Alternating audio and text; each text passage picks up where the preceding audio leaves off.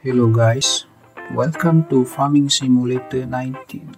Today I am going to show you the time lapse of mowing and drying the grass with tedder. The land and tools are not mine because this is a contract task. Enjoy!